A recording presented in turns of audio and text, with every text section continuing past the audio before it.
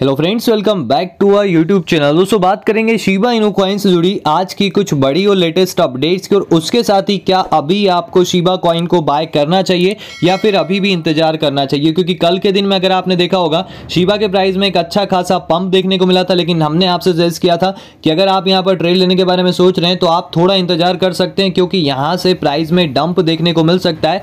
और जैसा कि बी टी पर नीचे आया, काफ़ी सारे ऑल्ड कॉइन्स जो कल यहाँ पर अच्छे खासे पंप हो रहे थे, उनके प्राइस में अच्छा खासा डाउनफॉल देखने को मिल रहा है। लास्ट 24 फोर आवर्स में ऑलमोस्ट 10 परसेंट डाउन में आया हुआ है। और zero point double zero one पर बना हुआ था। यहाँ पर आप हाई देख सकते हैं। वहाँ से गिरते हुए ऑलमोस्ट यहाँ पर ये नाइन थ्री की सीरीज़ में आ चुका है। और यहाँ पर अगर अभी की बात करें, क्या प्राइस यहाँ से और डाउन में आ सकता है? तो अभी आपको इंतज़ार करना चाहिए, क्योंकि प्राइस में थोड़ा और डाउनफॉल देखने को मिल सकता है। अगर हम यहाँ पर सपोर्ट की बात करें सेवन और एट यहाँ पर एक मेजर सपोर्ट का काम करते हुए नज़र आएँगे। मतलब अगर हम यहाँ पर देखें सेवन से इसने बाउंस बैक किया और बाउंस बैक करने के बाद एक अच्छा खासा बाउंस बैक किया और फिर से ये zero point double zero one की सीरीज़ में आ गया। अभी अगर आप देखें फिर से यहाँ पर नाइन और ऑलमोस्ट एट की सीरीज़ में आता हुआ नज़र आ रहा है। ट्रेडिंग वॉल्यूम की अगर हम बात करें थर्टी फाइव परसेंट डाउन में वॉल्यूम यहाँ पर कम नज़र आ रहा है। मार्केट केट भी ऑलमोस्ट यहाँ पर एट परसेंट डाउन में ऑल टाइम हाई की अगर हम बात करें उससे लगभग यहाँ पर एटी सेवन परसेंट ये कम चले गया है। मतलब अगर आप यहाँ पर अभी भी बाय करने के बारे में सोच रहे हैं किस सीरीज़ में आपको यहाँ पर बाय करना चाहिए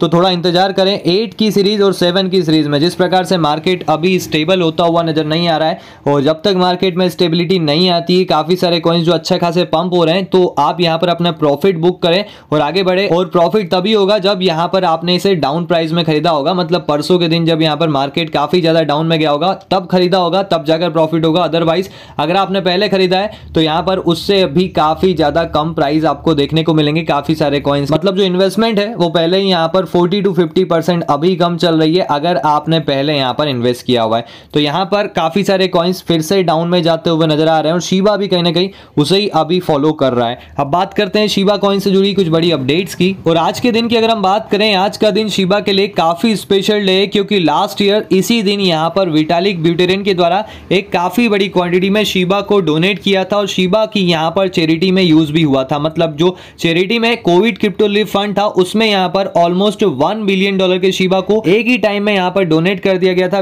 विटालिक ब्यूटेरियन के द्वारा, जो यहाँ पर क्रिप्टो हिस्ट्री का एक काफ़ी बड़ा डोनेशन था तो आज का दिन यहाँ पर शिवा के लिए भी काफ़ी बड़ा दिन है। इसके अलावा अगर हम बात करें यहाँ पर वेल्स की blue whale double zero seven three जो यहाँ पर शिवा को परचेज कर रहा है, अगर हम शिवा की क्वांटिटी की बात करें वेल्स में टॉप पर शिवा बना हुआ था, लेकिन एफ़ ने यहाँ पर फ्लिप कर दिया और एफ़ की क्वांटिटी यहाँ पर नंबर वन पर आ चुकी है। शिवा नंबर टू पर आ चुका है। ब्लू वेल डबल के द्वारा ऑलमोस्ट यहाँ पर वन मिलियन डॉलर के शिवा कॉइन को बाय किया गया है। अगर हम बर्निंग की बात करें बर्निंग यहाँ पर लगातार जा रही है, जो एक अच्छा साइन है। लास्ट 24 आवर्स में 341 मिलियन शिवा टोकन को यहाँ पर बर्न किया गया है। बर्न पोर्टल यहाँ पर एड हो चुका है, जिसके थ्रू लगातार बर्निंग जा रही है। पहले बिलियंस में हो रही थी, अब यहाँ पर मिलियंस में हो रही है। लेकिन इसी प्रकार की बर्निंग कहीं ना कहीं इसके सप्लाई को लगातार रिड्यूस करते हुए नज़र आएगी। बर्न रेट ऑलमोस्ट यहाँ पर सेवेंटी डाउन में आ गया है। कल के दिन में अगर हम देखें, यहाँ पर एक बड़ी क्वांटिटी में शिवा बर्न हुए थे। और अगर हम शिवेरियम की बात करें शिवेरियम की जो लॉन्चिंग डेट है, वो अभी तक यहाँ पर रिवील नहीं की गई है, लेकिन उम्मीद है, जिस प्रकार से अपडेट दी गई थी,